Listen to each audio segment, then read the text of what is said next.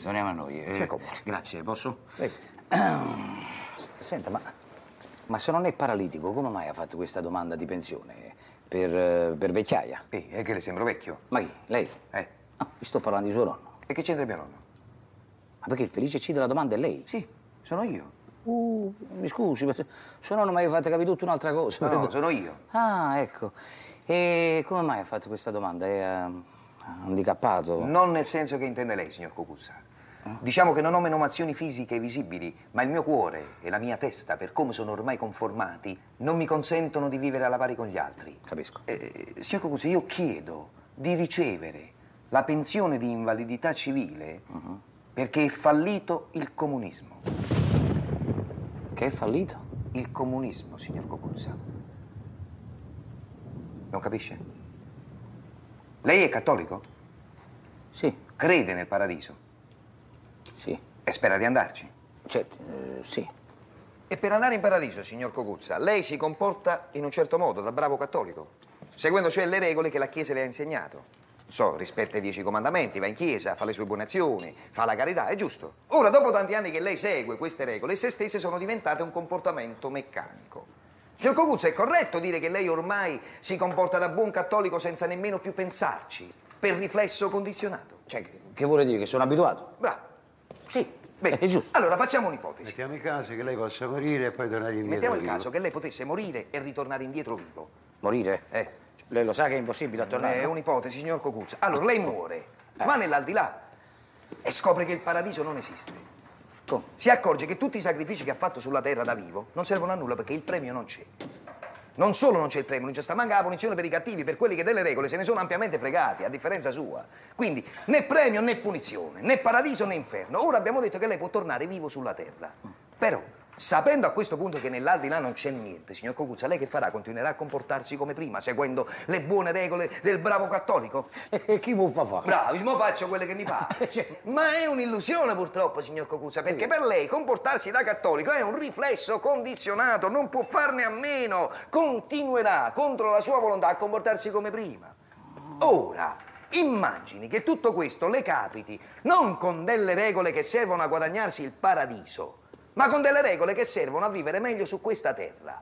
Signor Cocuzza, questa è la mia condizione. Gli ideali che sostenevano la mia etica sono falliti, ma io non posso vivere altrimenti che seguendo meccanicamente quegli stessi ideali.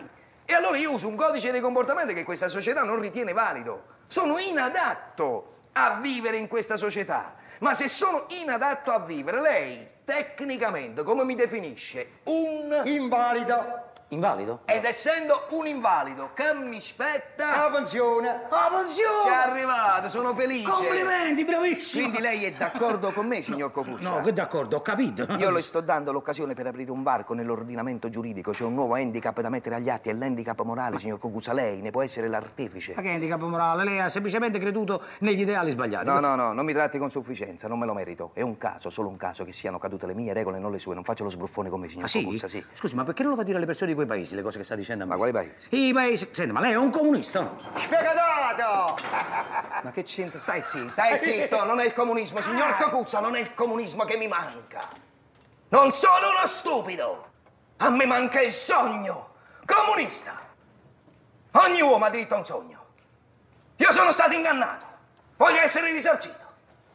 Io per vent'anni ho creduto veramente che un miliardo di cinesi fossero tutti educati, felici e sorridenti solo perché erano comunisti. Poi ho scoperto che facevano le esecuzioni in piazza. Pigliavano dei ragazzi di 15-16 anni solo perché avevano rubato una bicicletta, un pugno di riso. Li facevano inginocchiare per terra e gli sparavano un colpo in testa. E la gente applaudiva. Io ero comunista perché sono contro la pena di morte, signor Cocuzza. Sono stato ingannato voglio essere risarcito. Mi spetta. Ho capito, ma, ma la legge non prevede un caso come il suo. Io che scrivo nel registro? È incapace di vivere perché è fallito comunista. Esatto, io sono malato, signor Cocuzza. La mia è una forma di malattia di cui lo Stato deve tenere conto. Io sono un tossicomane ideologico, sono in crisi di astinenza. Posso fare di tutto, signor Cocuzza, e lo farò. Che, che vuole dire? Che mi lascerò finalmente andare, che non avrò più scrupoli, che diventerò un delinquente. E faccia quello che le pare. E sarà anche colpa sua. Mia, e io che c'è? Lei non mi prende nella giusta considerazione. No, no, io faccio solo quello che nelle quello che è nelle mie possibilità. Ma la smetta con la storia delle possibilità.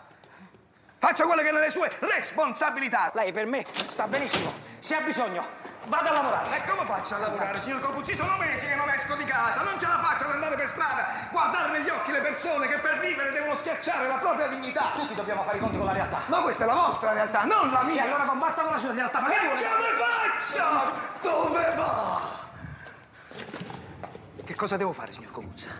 Devo denunciare tutti quelli che andavano in giro con i capelli lunghi e con l'eschimo. Erano milioni, sono scomparsa. Con chi me la piglia? Con quelli che mi impedivano di comprare i dischi di Lucio Battisti perché si era sparsa la voce che forza era fascista. E io lo amavo e mi vergognavo a dirlo.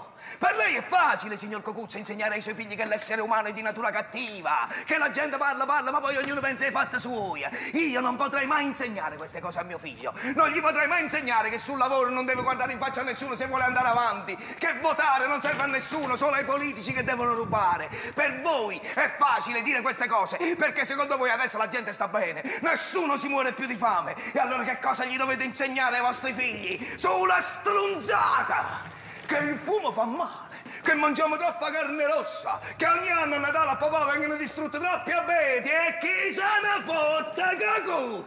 Voi non mi volete aiutare e allora insegnatemi a vivere come voi, senza scrupoli e senza sensi di colpa, altrimenti mettetemi in un mondo dove non esistono zingari, negri, poveri, disperati. Un mondo dove non si sappia quanti bambini muoiono di fame ogni giorno mentre noi mangiamo le primizie. Abbiamo sei televisori per famiglia, due macchine a testa. Mandatemi qualcuno che mi dimostri che vivere in questa società è giusto, altrimenti diventerò un delinquente. E si ricordi, signor Cocuzza, che è un caso, solo un caso, che siano cadute le mie regole e non le sue.